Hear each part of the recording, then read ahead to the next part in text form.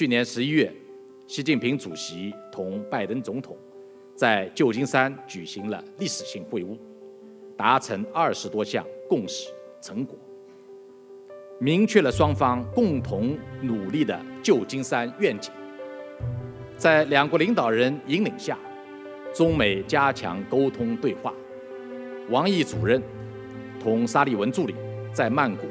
举行了新一轮的会晤。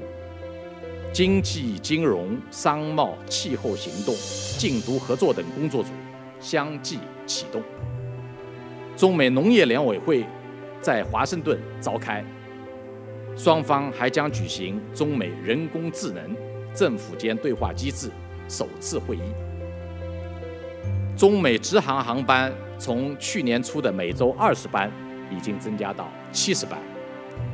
中方正在积极地落实习近平主席在旧金山宣布的未来五年邀请五万名美国青少年来华交流学习倡议，将设立美国青年使者来华专项奖学金。过去一年，中美关系从巴厘岛抵达旧金山，从遭遇严重困难到实现止跌企稳。历经艰苦努力，成果来之不易，需要倍加珍惜。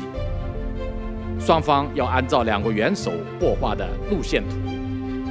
构筑排除干扰的防波堤，汇聚交流合作的正能量，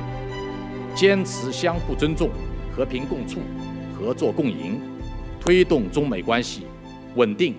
健康、可持续发展。